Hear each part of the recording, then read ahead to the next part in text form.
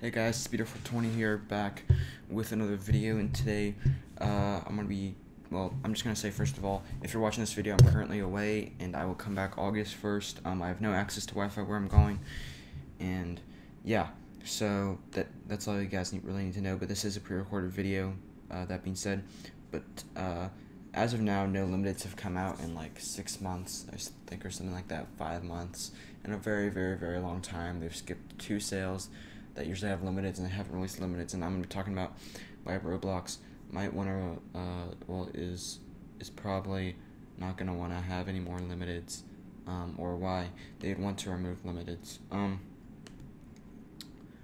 Now I'm just gonna talk about. I th I think the main reason they removed limited is because it wasn't it wasn't helping them make money, and uh, if you guys know, these limiteds like for example. Uh, pull one of the beast modes here. If it uh, why, why am I under gear? Faces. Sorry about this. Alright, so for example, the radioactive beast mode. This came out for only 100 Robux, and people made like tens of thousands of Robux off it. Um, I think the highest it was was like 19k. Like, yeah, look how much that is. Somebody literally put in one dollar and got $125 out. And Roblox probably does not like that. Because basically, it's, you know, people, instead of people buying Robux, they're just going to invest in limiteds and make tons more uh, Robux. Uh, sorry, yeah, tons more Robux.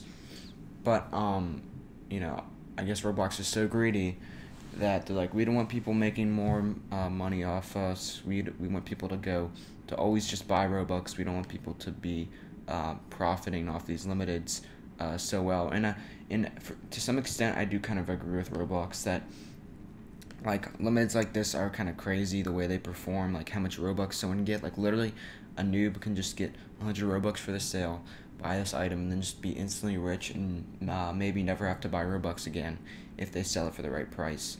And that's what that's what Roblox is afraid of. Um, they're they're afraid that people will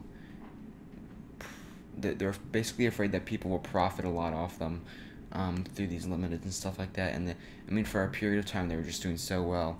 Um, all these items, you know, it's just easy Robux. I never really had to buy a bunch of Robux um, during my time when I was, uh, well, when limiteds were in their prime, when they were releasing like a lot. I never had to buy any Robux. I could just, uh, you know, buy a limited before it sells out and make quick profit off of it. Um, but yeah, as I said, Roblox doesn't like this.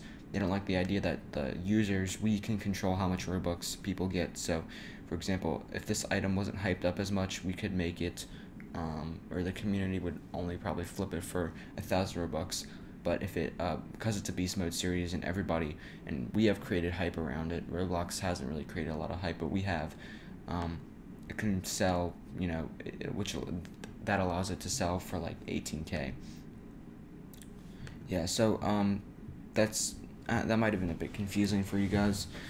Um, I'm sorry, I'm pre-recording like all these videos in one day, so I'm kind of running out of content. But um, yeah, I'll be back August first. That you know, that's what Roblox. Roblox just wants more Robo, uh, wants more. I don't know why I'm saying they want more Robux. They want more money. They want they want more people to buy through them. Anyways, that's all for this video. Um, hope you guys are doing well. Bye.